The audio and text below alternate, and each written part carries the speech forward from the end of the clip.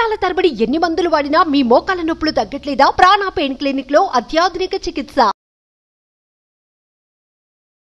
పవిత్ర Jayaram and దాంతోపాటు చందు. భార్య interview కనుక మనం చూస్తే ప్రియచౌదరి గారు రాత్రులు పన్నెండింటికి స్టార్ట్ చేస్తే మార్నింగ్ ఫైవ్ ఓ క్లాక్ వరకు తన్నులు తింటూనే ఉండేదాన్ని నేను.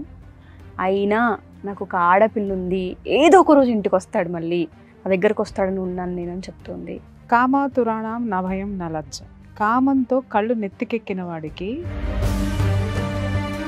కామం అనే అంటాను. ప్రేమ అని ఎవడు మాట్లాడతాడు? చెప్పులతో కొట్టాలి ప్రేమ అన్న వాళ్ళు. వాళ్ళ భార్య చెప్తుంది పవిత్ర మాట్లాడేదంట నా మొగుడు ఏం పీక్కుంటావో పీక్కో. భగవంతుడు పీకేశాడుగా? ఏం సాధించారు మీరిద్దరు జీవితంలో?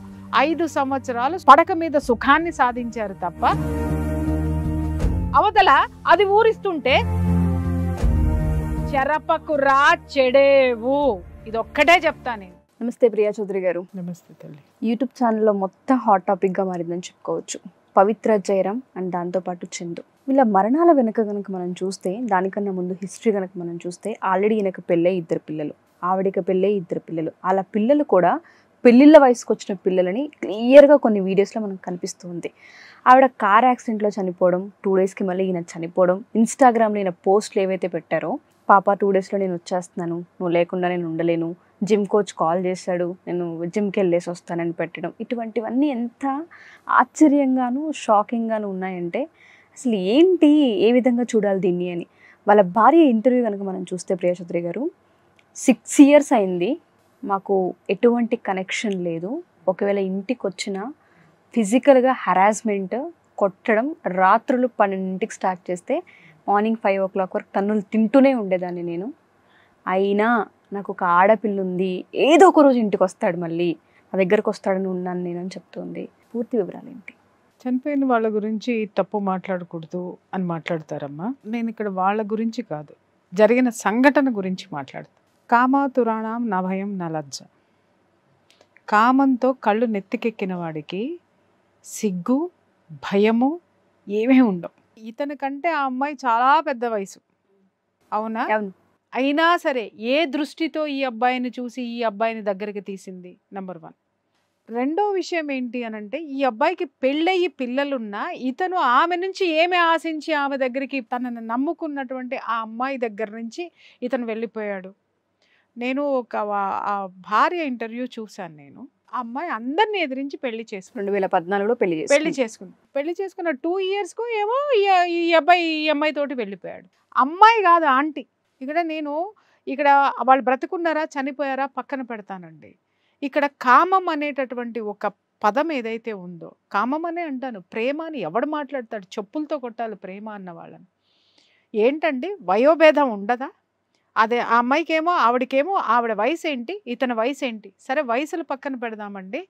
అసలు అతనికి ఒక సంసారం ఉంది పిల్లలు ఉన్నారు కనీసము వాళ్ళమ్మ తల బాదుకుని మరి ఏడుస్తుంది ఏంటి అని అంటే నీ కొడుకుని నేను పంపేను ఇక్కడే ఉంటాడు. వాళ్ళ భార్య చెప్తుంది పవిత్ర మాట్లాడేదంట నా మొగుడు ఏం పీక్కుంటావో పీక్కో. ఏం పీకారు? భగవంతుడు పీకేశాడుగా? నీ బిడ్డల నుంచి తల్లి పోస్టు నిన్ను పీకేశాడు. నీ మొగుడని పిలిపించుకున్నటువంటి వాడి పోస్టు పీకేశాడు. ఏం సాధించారు మీరిద్దరు జీవితంలో? ఐదు సంవత్సరాలు పడక మీద సుఖాన్ని సాధించారు తప్ప మీరు జీవితంలో ఏం సాధించారు? అటు ఎన్ని కుటుంబాలు నాశనం అయిపోయినాయి? వీళ్ళు చేసినటువంటి ఈ పనితోటి అమ్మాయి నిజంగా ఒక ఆర్టిస్ట్గా ఉండి అమ్మాయి ఒకసారి నా దగ్గర కౌన్సిలింగ్ కూడా వచ్చినట్టు గుర్తు నాకు. ఆ డిప్రెషన్ తోటి వచ్చింది. అట్ అలాగని చెప్పేసి అని వీళ్ళు ఏ పెళ్ళిళ్ళు చేసుకున్నా ఇప్పుడు ఆ అమ్మాయి అంతకుముందు జీవితం అంతా నా భర్తతోటి బాగాలేదండి నా భర్త నన్ను ఇబ్బందులు పెడుతున్నాడు అనుమానిస్తున్నాడు. ఇవన్నీ నీకు ఆల్రెడీ ఒక భర్త కొడితే తిడితే అనుమానిస్తే ఎంత బాధపడ్డావో నీకు ఆ అవగాహన ఉంది. ఆ పెయిన్ ఉంది.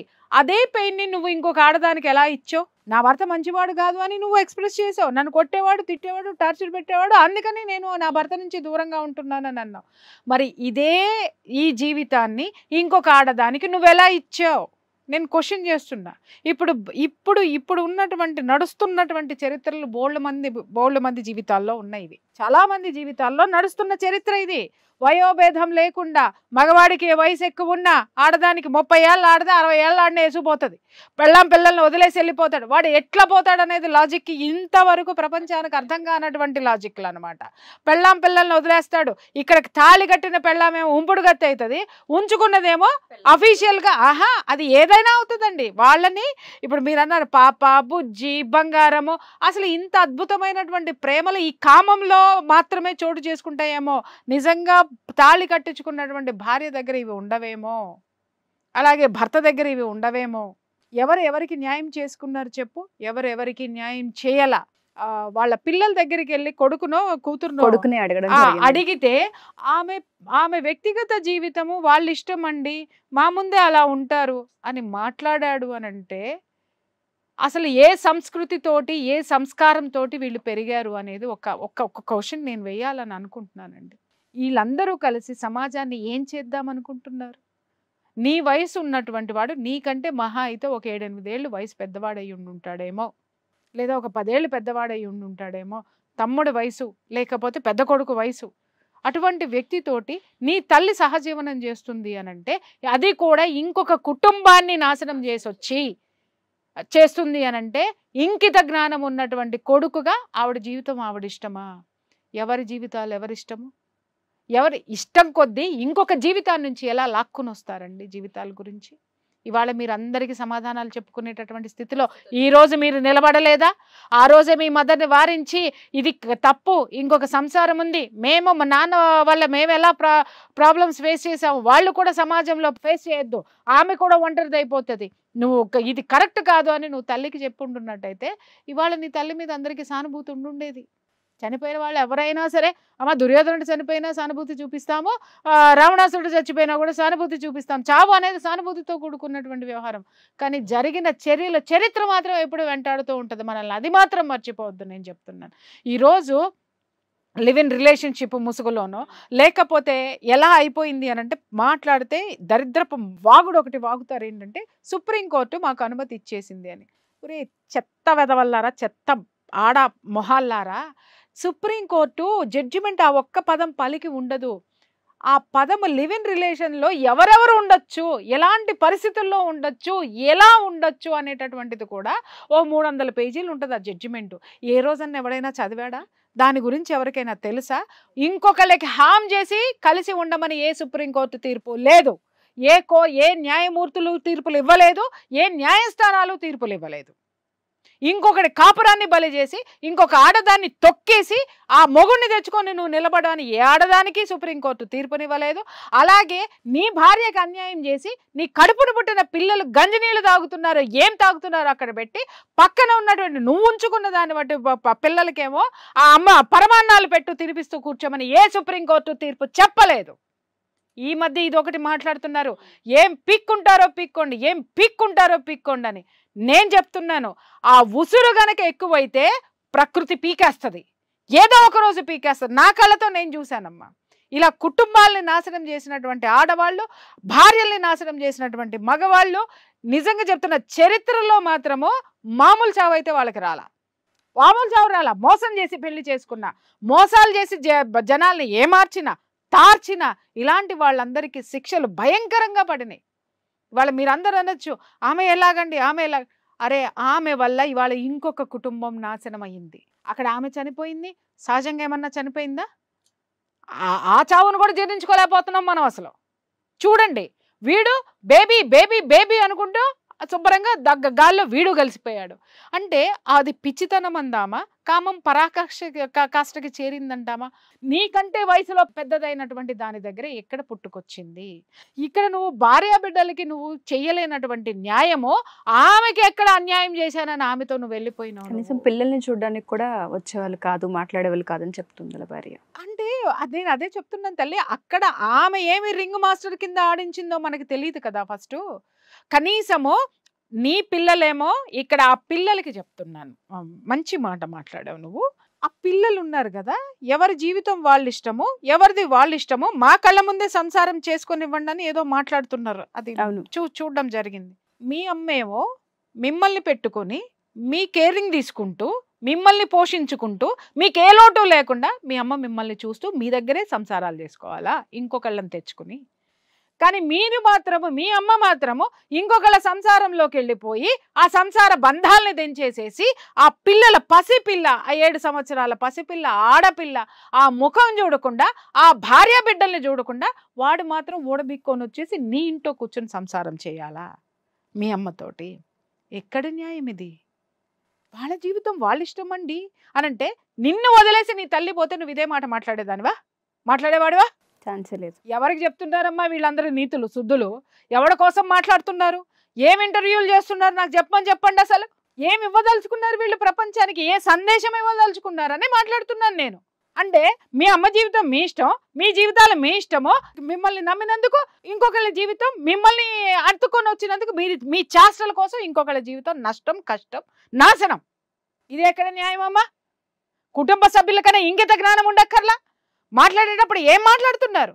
ఇవాళ ఆ పిల్ల ఎన్నిసార్లు ఏడ్చుండి ఉంటుంది ఇంట్లో తల్లి లేడని? పెళ్ళి చేసుకున్న పిల్ల కనీసం రెండు మూడేళ్ళు కూడా సంసారం చేయకుండా పిల్లని కానీ పారేసిపోయినందుకు ఆ తల్లి గుండెలు అవసిపోయేటట్టు ఆ భార్య ఎన్నాళ్ళు ఏడ్చుండి ఉంటుంది? ఆ పక్క బట్టలకి అర్థమవుతాయమ్మా. ఆ ఇంటికి అర్థమవుతుందమ్మా. ఆ చుట్టూ ఉన్నటువంటి ఆ ప్రకృతికి అర్థమవుతుందమ్మా. కనీసం తల్లిదండ్రుల దగ్గర కూడా వెళ్ళలేనటువంటి పరిస్థితి. ఈమె ఎన్ని బాధలు పడుతుందో చెప్పుకోలేనటువంటి పరిస్థితి. ఎందుకంటే తల్లిదండ్రుల మనసు నొప్పించకూడదు ఒకటి. రెండోది ఏంటంటే వాళ్ళని ఒప్పించి ఈ అమ్మాయి పెళ్ళి చేసుకుంది. వాళ్ళ వాళ్ళు వ్యతిరేకించినా కూడా వద్దు అన్నా కూడా పెళ్ళి చేసుకుంది కాబట్టి భయంకరమైనటువంటి నరకం. లోపల దాచుకోను లేదు బయటికి చెప్పుకునే వాళ్ళు లేరు. లోపల కుమిలి కుమిలి కుమిలి కుమిలి ఎంత దారుణమైన శిక్ష ఆ భార్య తల్లికి? చెప్పుకుందామన్నా తల్లి బతికలేదట. పెళ్ళైన తర్వాత చనిపోయింది. సో నేను ఎక్కడికి వెళ్ళలేని పరిస్థితి ఇక్కడే ఉన్నాను నేను చూడండి. అంత ఆవేదన అమ్మాయి ఉసురు ఊరికిన పోతుందండి పోతుందా? ఇద్దరు ఆడపిల్లలు. ఒకటి కట్టుకున్నది రెండు కన్నది. వాళ్ళని ఎన్ని రోజులు పస్తులు పడుకోబెట్టారు మీరు? ఎన్ని రోజులు వాళ్ళ ముఖం చూడకుండా ఉన్నారు? ఇంకొక దాష్టీకం ఏంటంటే రాత్రిపూట తాగి వచ్చి రాత్రి ఏంటమ్మా పన్నెండింటికి మొదలు పెడితే తెల్లారుజామున ఐదింటి దాకా తనడమేనంట నేను అల్లా కామా దురాణం నా భయం నా అవతల అది ఊరిస్తుంటే ఇక్కడ దీన్ని అనుభవించేసావు కాబట్టి దీనికి శిక్ష. ఎవరు దీన్ని? దీన్ని మనం ఎందుకు సమర్థించాలి చెప్పండి? ఏ విషయంలో సమర్థించాలి? చావు మీద సానుభూతి ఉంది. కానీ ఆ వెనక ఉన్నటువంటి చరిత్ర ఏదైతే ఉందో అది మనం దాస్తే దాగేటటువంటిది కాదు. దాగేటటువంటిది కాదు. సమర్థించుకోవాలి. ఎప్పుడు అంటే అది ఎదుటి వాడికి ఒకటే నేను ఇక్కడ విషయం చెప్తున్నానమ్మా. మనం జీవితంలో తెలుసో తెలియకో తెలిసి చేస్తామో తెలియక చేస్తాం తప్పులు చేస్తాము కానీ ఆ తప్పుల ద్వారా ఒక నష్టం జరిగినప్పుడు బేషరతుగా క్షమాపణ చెప్పటం అనేది ఉంటుంది చూసావా? అది నువ్వు మనిషిగా జన్మనిచ్చినందుకు నీకు వచ్చేది. మేము బ్రతికితే చాలని ఈ కుటుంబం మొత్తం భావించింది. ఎవడెట్లా పోతే మాకెందుకని భావించింది? ఇవాళ ఎవరికి ఎవరు దక్కనటువంటి పరిస్థితి. వచ్చింది మీరు అనాథల్లాగా రోడ్డున పడ్డారు ఆ తల్లి పిల్ల అనాథల్లాగా రోడ్డున పడ్డారు. ఇంకొక విషయం ఏంటంటే వీళ్ళ లివ్ ఇన్ రిలేషన్షిప్లో ఉన్నప్పుడు ఆ తల్లి పిల్లను వదిలేసి వచ్చిన తర్వాత వీళ్ళు చుట్టూ ఉన్న వాళ్ళు కూడా కనీసం ఒక్క మాట కూడా వీళ్ళకి చెప్పనటువంటి పరిస్థితి. ఈ అమ్మాయి నా నా దగ్గరకు వచ్చి కేవలం డిప్రెషన్తో ఉన్నానని వచ్చింది కానీ ఈ రిలేషన్షిప్స్ అన్నీ నాకు తెలియదు. నాకు తెలియదు. ఎందుకు రిలేషన్ ఎందుకు డిప్రెషన్ ఉందంటే నా భర్త వల్ల నాకు ప్రాబ్లమ్స్ ఉన్నాయి మేడం అని. టేక్ డివోర్స్ అమ్మా. డిప్రెషన్లోకి ఎందుకు వెళ్తారు మీరు? నాకు ఇద్దరు పిల్లలు ఉన్నారండి మేడం. నాకు ఇప్పుడు ఒక్కొక్కటి తర్వాత అమ్మాయి చూసిన తర్వాత నాకు ఇప్పుడు గుర్తొస్తుంది. అంటే నీ పిల్లలు ఉన్నారు వాళ్ళ భవిష్యత్తు ఎట్లా అని చెప్పేసి అని నీ భర్త టార్చర్ పెడుతున్నాడని నువ్వు వన్- మరి ఇదే సీన్ నువ్వు ఇంకొక ఆడదానికి రిపీట్ చేసావు కదా. రిపీట్ చేసావు కదా. మరి అప్పుడు ఆమె ఉసిరు ఎక్కడికి పోవాలా? ఆమె బాధ ఎవరు తీసుకోవాలా? ఆమెకి ఎవరు సమాధానం చెప్పాలా? వాళ్ళ ఆ కుటుంబాన్ని ఆదుకునేటటువంటి వాళ్ళు ఎవరు ఇంకా ఈ పిల్లలు పైకి వచ్చారు కనీసం వయసు వచ్చింది వయసు వచ్చిన మీకే మీ అమ్మతోడు అవసరమో అవసరము? మిమ్మల్ని మీ అమ్మ పక్కన పెట్టుకుంది మిమ్మల్ని పారేలా? పారేయమని ఎవరు చెప్పలా? ఇంకొకరిని తెచ్చి ఇంట్లో పెట్టుకున్నా కూడా ప్రపంచం కూడా మిమ్మల్ని పారేయమని మీ అమ్మకి చెప్పలా? వాణ్ణి పెట్టుకొనిచ్చింది మిమ్మల్ని పెట్టుకొని ఇచ్చింది మీరు పెట్టుకున్నదంతా దౌర్భాగ్యాన్ని చూస్తూ ఈ ప్రపంచం భరించింది. కానీ ప్రకృతి భరించలేదమ్మా. మనం తెలుసుకోవాల్సింది ఏంటంటే మనం అనుకుంటాం ఉషా మా నా ఇష్టం నా జీవితం నేను బ్రతుకుతాను. ప్రతి ఒక్కళ్ళు మాట్లాడేటటువంటి మాట నా లైఫ్ నా ఇష్టం నువ్వెవడ్రా అడగడానికి? నిజంగా చెప్తున్నా నేనేమీ కాను అడగడానికి. నాకు ఏ సంబంధము లేదు అడగడానికి. నాకు ఏ అర్హత లేదు అడగడానికి. కానీ ఒకళ్ళకి మాత్రం అర్హత ఉంది అదే ప్రకృతి. మనం అనుకుంటామో ఇవాళ రేపట్లో ఇలా ఎలా జరిగింది? అయ్యో ఎలా జరిగింది? అయ్యో ఎలా జరిగింది అని అంటామో ఎవ్వడో చూడట్లేదు కదా అని చెప్పేసి అని నీ ఇష్టం వచ్చిన హక్కులు నీ ఇష్టం వచ్చినటువంటి కోర్టు తీర్పుల్ని నీ యొక్క అనుగుణంగా మార్చేసుకుంటూ నీకు ఎలా వస్తే అలా తిప్పేసి ప్రపంచాన్ని నువ్వు ఆడించేసుకున్నాలనుకుంటే ప్రపంచాన్ని ఆడేసేటట్టు ఆడించేటటువంటి శక్తి ఒకటి ఉంటుంది. ఆ శక్తి చేతిలో ఏదో ఒక రోజు మనం దానికి పనిష్మెంట్ అనుభవించే తీరాలి. దానికి ప్రత్యక్ష సాక్ష్యమే ఈ సంఘటన. చెప్పినట్టుగానే గిల్ట్ అనేది ఒకటి ఉంటుంటుంది. మనస్సాక్షి అనేది ఒకటి ఉంటూ ఉంటుంది ఇవాళ లేదు నేను చెప్తున్నాను. మన సాక్షిని చంపుకు చంపేస్తున్నారు. చంపుకుని అనను. చంపుకోవడం వేరు చంపేయడం వేరు. అర్థమైందమ్మా? చంపుకోవడం అంటే మదన పడడం. చంపేయడం అంటే పీక్ పక్కన పడేయడం అనమాట అక్కర్లేదు అది నాకు. మన సాక్షి అనేది అది ఉంటే నేను ఎలా బ్రతుకుతాను? నేను ఎలా బ్రతకాలి? నేను బ్రతకాలంటే దాన్ని చంపేయాలి అని ఫస్ట్ దాన్ని మర్డర్ చేసిన తర్వాతనే తర్వాత ఇవన్నీ చేస్తున్నారు. ఆ తర్వాత మనల్ని ఏం చెయ్యాలి అనేది మన మన పైన ఒకడు ఉన్నాడుగా. వాడు తేలుస్తాడు కదా లెక్కలు. వాడు రాస్తాడు కదా మన తలరాతలు. వాడు గీస్తాడు కదా గీతలు. ఆ బొమ్మలే ఈరోజు గోడ మీద బొమ్మలై కూర్చుంటున్నాయి ఇలాంటివన్నీ. చెరపకు రా చెడేవు. ఇది ఒక్కటే చెప్తా నేను. ఇంకొకళ్ళ కాపురాల్లో దూరి మీ ఇష్టం వచ్చిన వేషాలన్నీ వేసి కాపురాల్ని కూల్చి మొగుళ్ళని వేరు చేసి ఈ విధంగా చేసేటటువంటి ప్రతి ఒక్క ఆడవాళ్ళు కాపురాలను కూర్చేటటువంటి ఆడవాళ్ళకి నేను చెప్తున్నాను కదా. ఎవరికైనా ఇలాంటి దుర్గతి ప్రతి ఒక్కరికి పట్టాలని లేదు కానీ ఇంతకంటే నీచమైనది ఇంతకంటే ఘోరమైనవి ఇలాంటి ఘోరమైనటువంటి వాటిల్నే మీరు కూడా ఫేస్ చేయాల్సి వస్తుంది. Thank you ma'am thank you